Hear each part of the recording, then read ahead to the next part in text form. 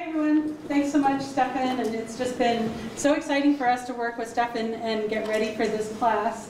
Um, and, I mean, I know he's like seems overly enthusiastic and saying it's going to be a really good show, but we really have some great speakers, and we're excited to bring them here. And a lot of people are traveling a distance to come when they're when they're here, so I really appreciate uh, Stefan's comments about just like really make an effort to be here and be here on time because um, they're going to be some people worth listening to. But my job right now is essentially just to give a little sneak preview of why we think the Salish Sea is so important and significant enough to actually create an institute and have this focus on it. So as was mentioned, um, the Salish Sea is a name that's intended to acknowledge the whole ecosystem. So three bodies of water, the Strait of Georgia, the Strait of Juan de Fuca, and Puget Sound make the Salish Sea. When you have one term for a whole water body, then you can start talking about it that way and acknowledge the fact that it actually is one connected ecosystem. Um, it's quite unusual to have such a rich ecosystem like this that's an international body of water. And um, in that, that governance piece is really interesting and it poses a lot of challenges and a lot of questions and things worth looking into um, over the quarter. That's one of the bits and pieces that we're going to explore a little bit. Um, the, the border is by no means an even line. Um, and this, this line that it is, is also happens to be a line that an awful lot of vessel traffic travels. Um, we have a lot of shipping traffic. We have booming commerce here. And so vessels from um, Port of Vancouver, uh, from Port of Tacoma, Seattle, come up um, and cross these waters. And um, some of them carrying some fairly hazardous materials. This map also speaks really to the, the wealth of the area, the rich culture that we have, um, and another way of looking at this without an international border cutting it, it, it sparks a different um, interest for the region. And so when we talk about why the Salish Sea is so important, um, well, one of those facts for why it's so important is we have over 60 tribes and First Nations in the Salish Sea region. Um, that's significant. Tribes and First Nations, um, we have sovereign nations, we have treaties to respect, um, we have cultures to explore. And what I love about this map is also it kind of acknowledges the interrelationship. There's families. Um, there's families that have gotten split up by the border and making getting back and forth between family and that travel makes it complicated. So we're going to hear some Indigenous voices this quarter um, talking about a number of different topics. We, as I mentioned, we do have um, a lot of commerce. This is uh, the Tsawwassen waterfront, taken from the, the ferry shot. Um, a lot of different kind of commerce traveling through, but I wanted to put up this map because it's here we are in the Pacific Northwest in the corner of um, the country. And I know this might be hard to read some of the bits and pieces of the map, but generally what it's acknowledging is a couple things. One is that we have fossil fuels coming across our state from elsewhere, from outside, out of state. And the intention of many of the carriers is to get them out of here and over to Asia to sell them. And we're in the middle, and we're our state Department of Ecology in this particular map, they made this map, and they're showing, I think it really shows the limits of their authority, but they, they're trying to regulate this stuff that's coming through by different means.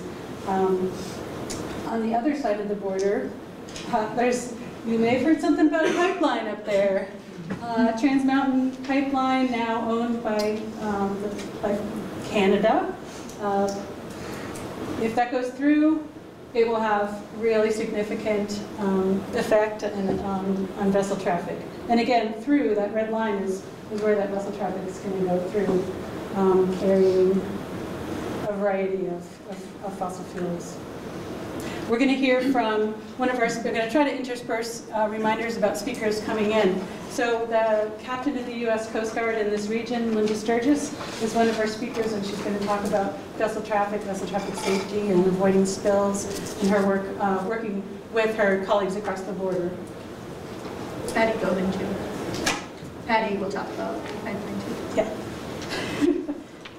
um, so we have approximately 8 million people living in the Salish Sea, along with 37 species, species of mammals, a lot of birds, fish, many, many more invertebrates. Many of these um, creatures, the populations are on fairly steep declines for a variety of reasons associated with, with human impacts. Um, Joe Gaydos from the SeaDoc Society is going to be with us, first, uh, our first outside speaker next week. Uh, one of the books from Sea CDOC Society is this gorgeous one about the Salish Sea, and the bookstore is going to be here um, selling some of these after afterwards next week. So we're trying to take advantage of some, some of those opportunities with the speakers to do some additional things.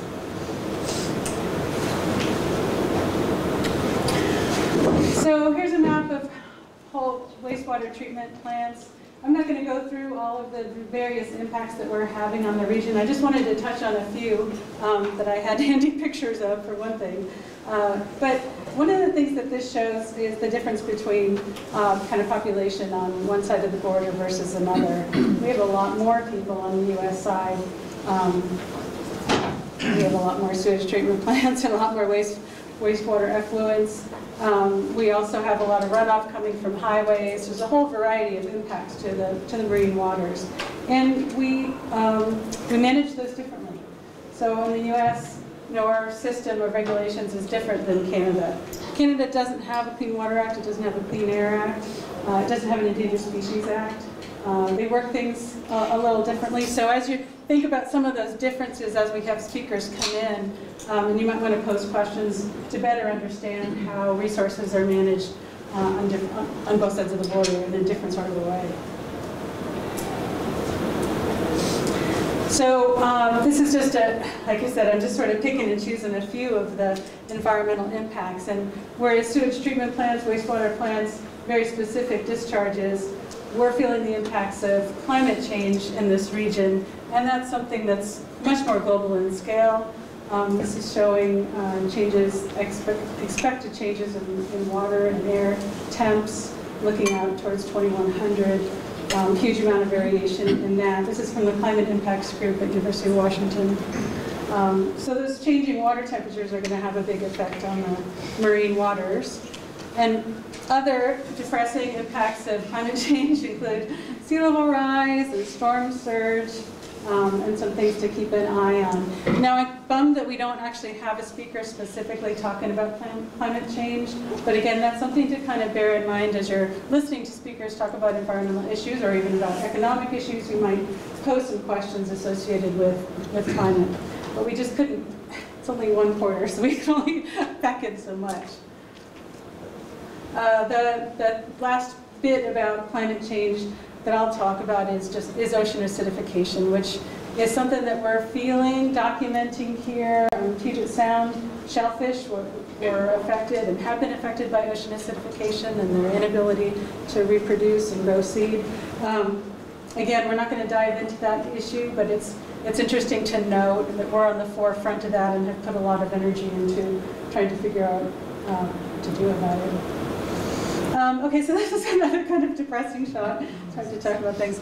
These are the smoke that we've had recently from wildfires. Um, and, and the intensity of wildfires seems to be, again, associated with, with climate change. And I did want to mention we have a, a speaker coming in, Elin Kelsey. She's a writer from Victoria, and she's actually going to talk about hope and how to have hope for our, our waters, and you know, and acknowledging that there's kind of some depressing stories going on out there. So it won't be all grim, I promise. so one of the stories that you're familiar uh, with hearing about now, uh, just the incredibly difficult um, tragedies of our southern resident killer whales. You've probably heard a bit about the Washington Task Force um, that's proposed some recommendations. We have a couple speakers coming in. Um, Misty MacDuffee with the Rain Coast, um, Con Conservation Alliance. Or, yeah.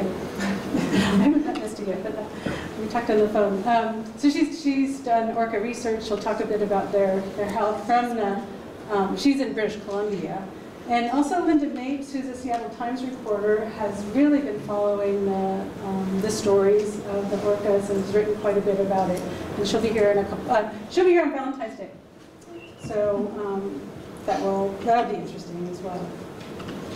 So it's important to recognize, in addition to um, variety of businesses that we have in the area. We also have some businesses that require clean water um, to be, to stay in business. Um, They rely on clean water and a healthy habitat. We did not get anybody from the economic sector, but Laurie's going to talk a little bit about trade here briefly I'm done. So I wanted to throw in the, this beautiful photo from Clark Island. Um, You know, it's important for us to remember that it's, this place, the beauty of this place is pretty spectacular. And um, sometimes we take it for granted, and sometimes we also have to remember that even though it looks so gorgeous, you can't really tell what's going on below the surface. So looks can be deceiving. I think that's the other, one of the other things that comes to mind in thinking about Linda Mapes and her job with the Seattle Times is she's conveying, um, she's helping the, the general public see these stories and she's translating complex environmental issues into material for the general public. It'll be interesting to hear her talk a little bit about that and, and how you do that, how you translate those messages. Because if people don't know there's problems under the surface, then there's not going to be interest in helping to solve them. So as much as we rely on clean habitat, it's not just us. But Bo, he wants the water clean because he doesn't want to get ear infections. Neither do we. So I just couldn't resist putting this picture in. And maybe I'll bring Bo in. Maybe he could be our last speaker if somebody, like on the cut list if somebody doesn't show. So um, again, I'm just going to touch a little bit because I just have so little time. I'm just to tell you uh, another little interesting fact about the environment of the Salish Sea. The pulse of um, fresh water that you see on this graph is from the Fraser River, which is um, the north side of the border. Um, so that's the biggest amount of freshwater input uh, that we get. And um, it's important to recognize that the Salish Sea is an estuary.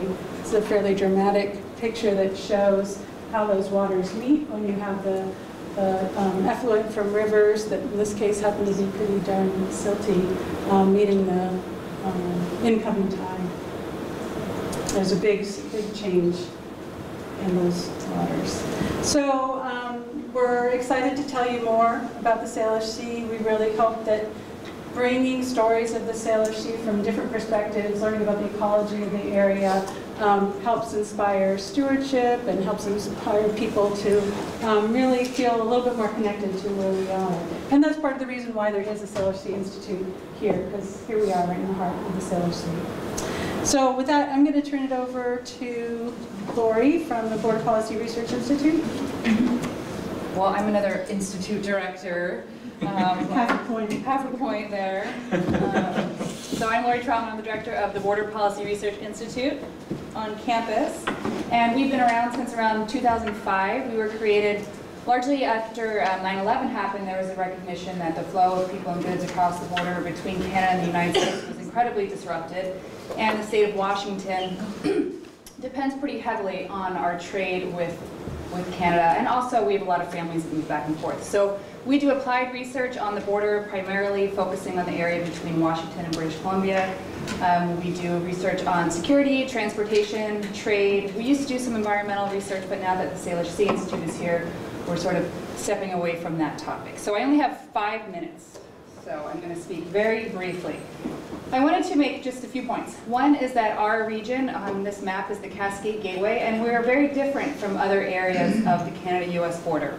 Is anybody in here Canadian or from anywhere along the border? So our region looks different from the Buffalo-Niagara region or the Detroit-Windsor region. There's different people that move back and forth. There's different goods that move back and forth. And our region is actually the busiest for the number of people going back and forth. And we have less moving back and forth in trade. But because our policies are created at the federal scale, we treat the border as kind of this homogenous place, and it's a one-size-fits-all policy. But those policies have very different impacts in different locations. And that's something that we study a lot of. My second point is that our border region is very unique. We have a lot of research and a lot of focus, both by private sector, by governments, and by institutions, focusing on the cross-border relationship, and that's not common in other areas of the US-Canada border. One example of this is the Cascadia Innovation Corridor, which is an effort that got started, it started decades ago, but its latest iteration started around 2016 to really tie together the innovation sectors and the tech hubs in Vancouver and Seattle, and to a lesser extent Portland, to say that if we work together and we leverage each other's strengths, we can build a global tech hub. And not just tech, but the life sciences as well. There's some really innovative cancer research that's done in British Columbia and in Washington. And so how do we work together to really elevate that? And another part of that as well is how do we make this place a livable place? Um, natural environment is certainly part of that, but also looking at transportation. We have huge congestion problems, affordable housing. So looking at really improving the quality of life from a regional perspective, not just from a US perspective or a Canadian perspective. And the final point I wanted to make, I'm going to counterbalance Ginny's um, sort of sad stories and try to end on an optimistic note and say that despite all of the unpleasant and tension-filled politics that we have between the US and Canada right now, things have not been going so well for our two countries, we have an incredible relationship of peace and um, friendship, really, between our countries. And this is apparent in a kind of symbolic way right at our border crossing in Blaine, the Peace Arch Crossing. Has anybody been up to the Peace Arch Park itself and actually hung out there? A lot of people have. So it's a really unique space because you can visit that park regardless of your citizenship, regardless of if you have uh, crossing documents like a passport, and a lot of families go there and share that space. And when you think about that sort of unity compared to what's happening on the US-Mexican border, it really highlights how important it is to continue to talk to our neighbors across the border, to continue to, to work together and look at our region as an integrated place for improving our economy, improving our um, economic relationships, and our environmental relationships. So I'm going to stop there, short and sweet, and pass it on to whoever's next.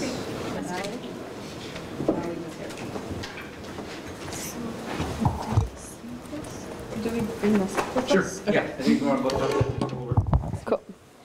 Um, Do we, it's just re- for recording, right? Correct. Okay, just making sure.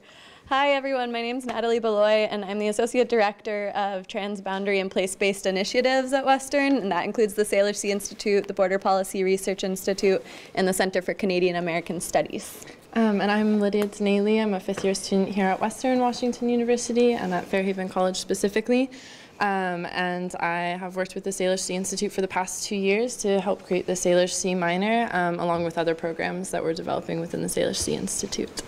So we're going to talk a little bit about what's happening here on campus in regards to cross-border programs and learning.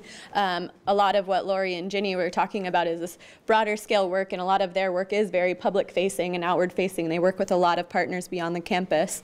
Um, and Lydia and I have been working with them, with faculty at Western, and with students at Western, as well as community partners in the region, to start to put together a, a curriculum about the Salish Sea here at Western. There are already a lot of classes that are taught about the region, um, but they're not kind of together in a package. So that's what we're trying to do. And then also to augment what's already offered with some more classes that really get into the uh, cross-border issues, the environmental issues, the cultural issues that uh, really span the border.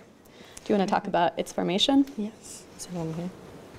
So I think fall of last year, winter of last year, me and another um, first year student, Diego, who was unable to be here, and Natalie were came together to try to figure out what made up the Salish Sea and what we wanted to look like, what fields we wanted to look for classes in within pre-existing classes at Western. Um, and from studying abroad in another um, colonized country, we came up with this model looking at the environmental, social, and economic, and kind of seeing how those all interact with each other for this, trying to comp uh, comprise the Salish Sea Studies minor. So at first, that included Coast Salish Histories and Sovereignty, Ecological Health and Restoration, and Canada-U.S., specifically BC-Washington relationships. And in the past year, with help from students, like in our class Sally 497, which was a one-credit class held this year that's also being held um, this quarter, um, we were able to work with students and faculty and also members of the community to kind of change and evolve the minor into what it is now. Yeah.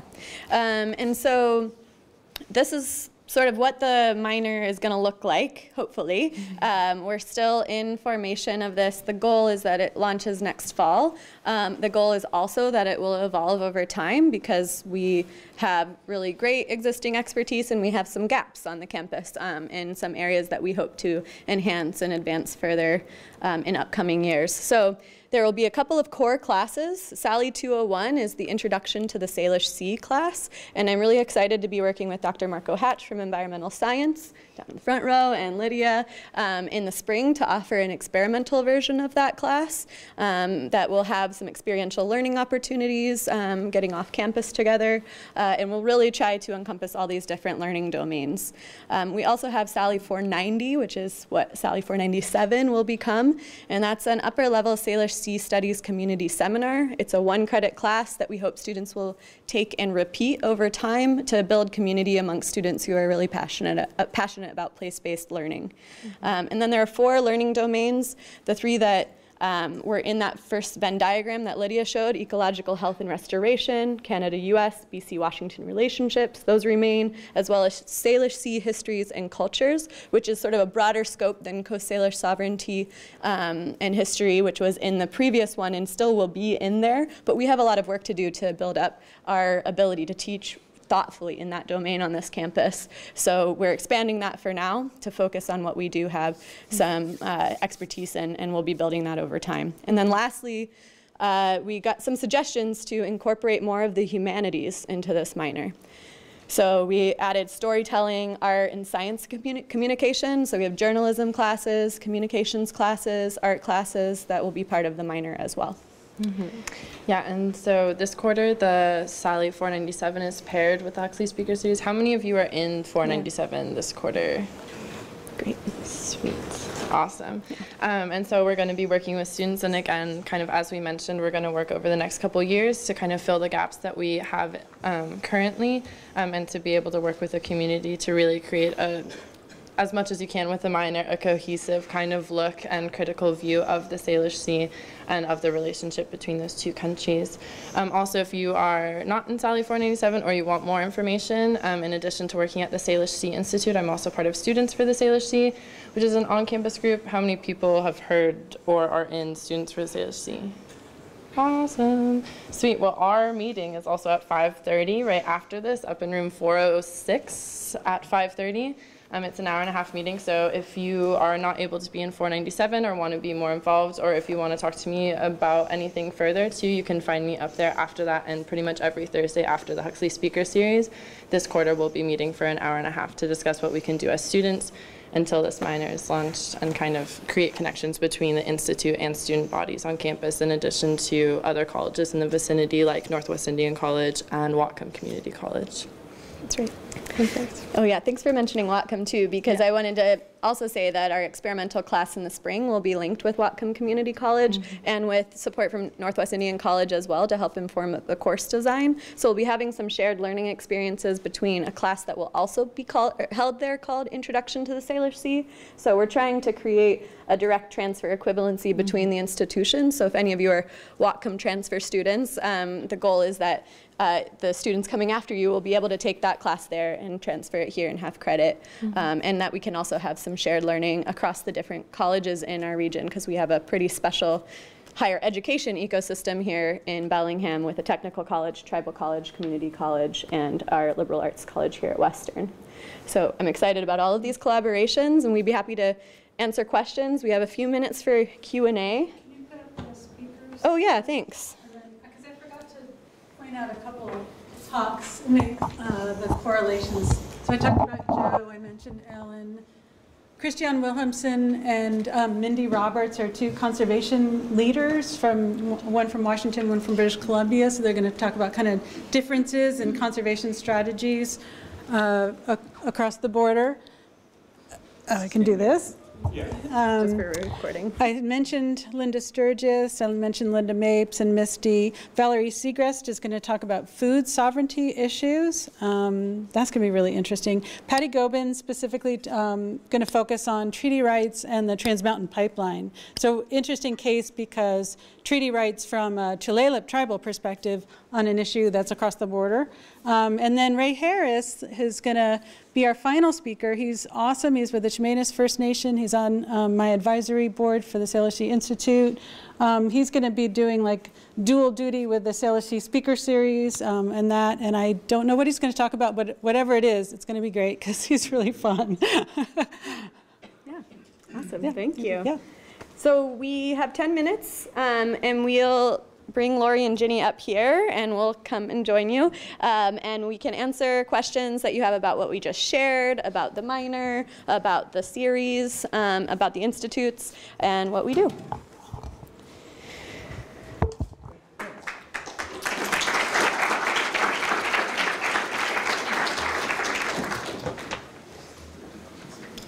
How do we want to do? Yeah. Uh, What are some of the problems you're spearheading with uh, dealing with Canada that doesn't have all these uh, same regulations that we do? How are you dealing with trying, are you trying to get them to create regulation, or what are your, what's your approach with that? So that's a great question. Could everybody hear his question? Just, I think he's wondering what the institute itself is doing with relationship to the different um, strategies of protection strategies across the border. So with one caveat that the Sea Institute is still young and um, getting our legs under us. Uh, but I am right now trying to put a forum together um, between um, some leaders in British Columbia and Washington to compare strategies on what's happening with orca recovery. And as I was talking to um, folks across the border, and I said specifically, what are you, what would make this meeting of interest to you? And they said, for one thing, understanding how we manage differently like how does your system work so they're under a directive to try to um, meet our Washington management strategies for orcas, and they need to better understand who's their corollary across the border. So we're bringing those, um, I think this is going to work, that we're going to have a meeting in March, but it's all kind of in flux right now.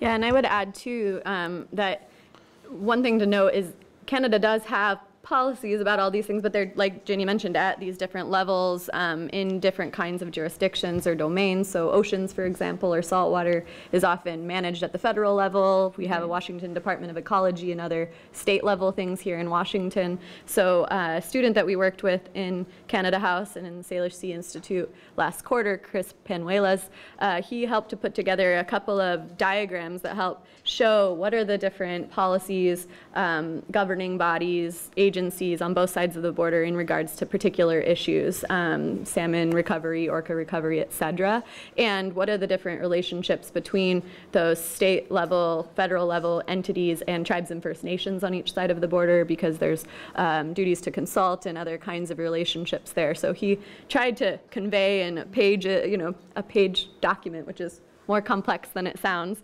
um, these different political jurisdictions and, and policies.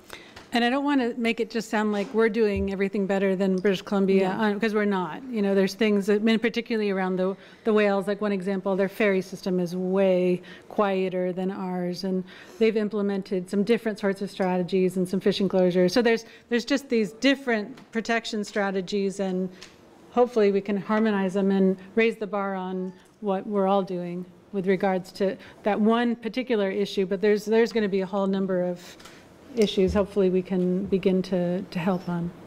Do you want to add anything? Okay. Yes. Yeah.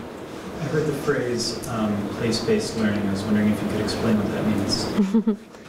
Yeah, do you want to start first? No? Okay.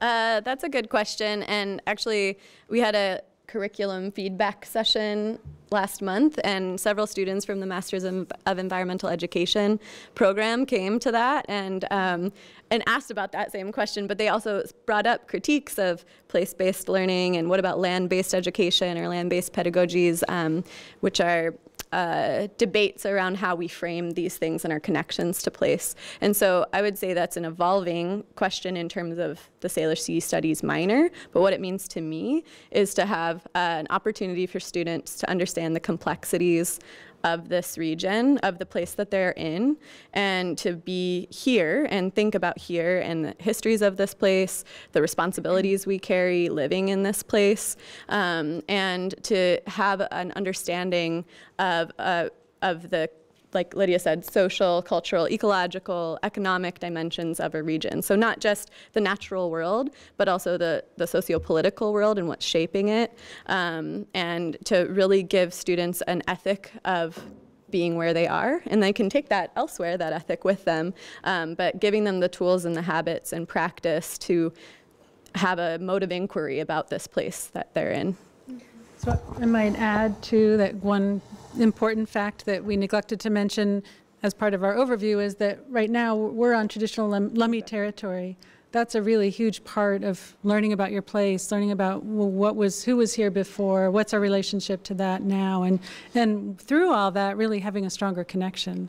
So um, it's it's kind of a simple, you know, idea. It's really just about learning where we are. And while many people who come to Western are from the area, um, a lot of people have are, are not from the area. But also, it's like, have you ever really taken the time to think about it as a region and what are the connections? And the more we know, the more you know. Knowledge is power, right?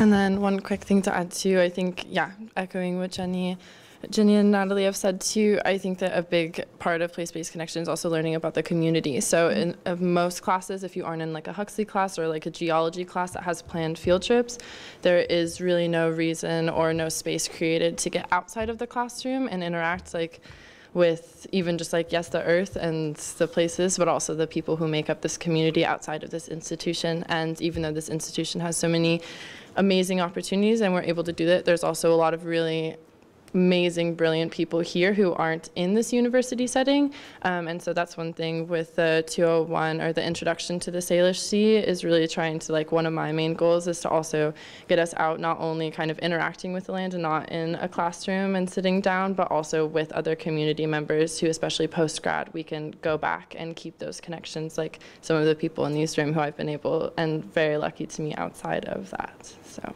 that's another goal of ours. Thanks.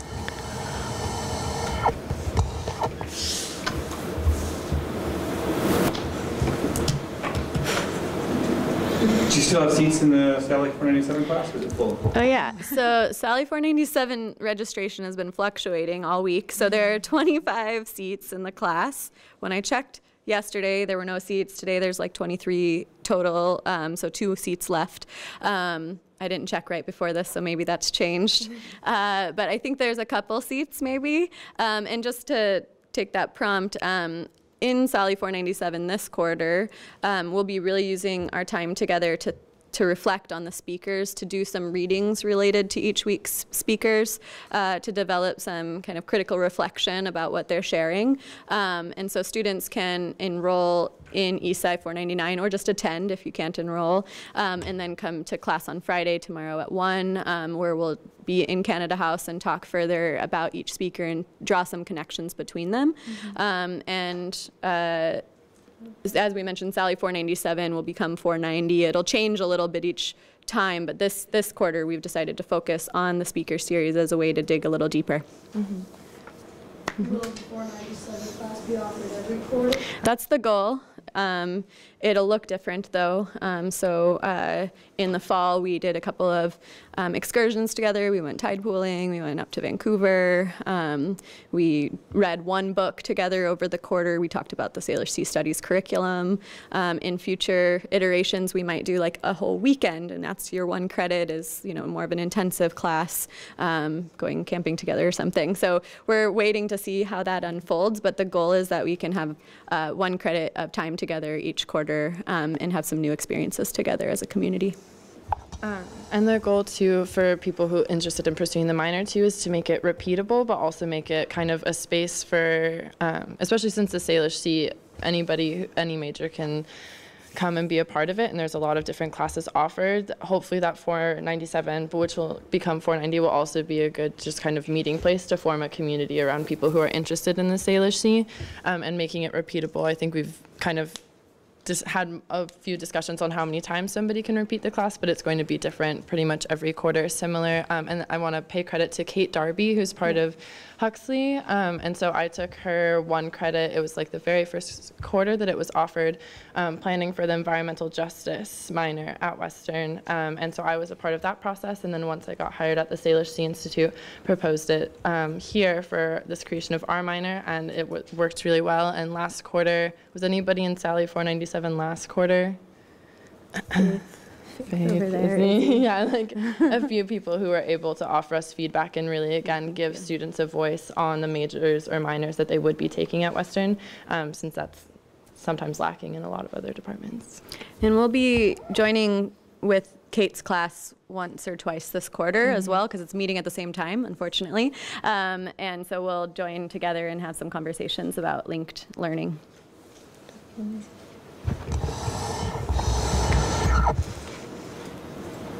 Any other questions? Mm -hmm. Okay.